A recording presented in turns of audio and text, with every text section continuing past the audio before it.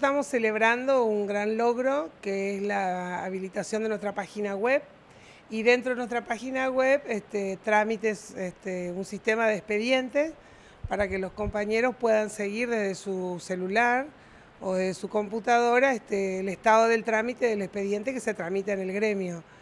Para nosotros es, este, doblemente importante, es una forma de agilizar la, la información y también de obligarnos a tramitar este, con mucha más celeridad todo y estamos muy contentos de, poder ofrecer esa posibilidad para que el docente en el lugar que esté, cuando tenga señal de internet, desde su propia celular pueda tener este, la respuesta inmediata, instantánea de qué está pasando con su trámite. ¿Cuánto tiempo les llevó gestar todo esto?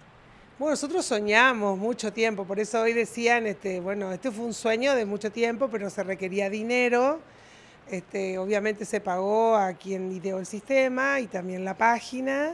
Y bueno, y después hubo que cargar el sistema. El sistema sí ya está casi totalmente cargado porque todos los días entran nuevos casos y hay que cargarlo. Y la página, eh, discutimos mucho si la, esperábamos para completar con los 17 años de historia o la, la habilitábamos. Y decidimos habilitarla y la seguiremos cargando. De lo que de aquí en adelante y de aquí para atrás también, porque son 17 años que tiene autoconvocado, así que hay bastante para cargar. ¿no? bueno, la herramienta eh, para ser utilizada por los docentes, ¿de qué manera? A la página, obviamente, como toda página, entra cualquiera, no hace falta ser afiliado, pero para entrar al sistema de expedientes sí tiene que ser algún afiliado que tiene eh, su, este, su trámite, que se va a dirigir por mail a, a, los administradores del sistema y ellos le darán el, número, el nombre de usuario y la clave para que pueda ingresar y solo podrá mirar obviamente sus expedientes, ¿no?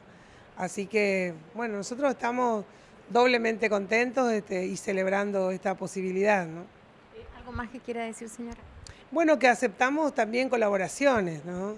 que la página va a tener este, desde las noticias internacionales a noticias locales, que va a tener una columna de opinión, que nosotros queremos este, divulgar además información científica, lo que se, esté discutiendo sobre teorías, sobre líneas de pensamiento, bibliografía, películas, este, hasta las carteleras de eventos sociales, diríamos, ¿no?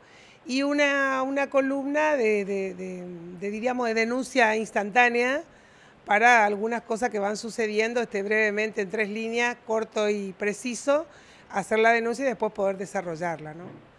Así que que participen todos los que se acerquen. Hay una parte que dice contacto donde nos pueden dejar su mensaje. Eh, bueno, no nos dijo el nombre de la página.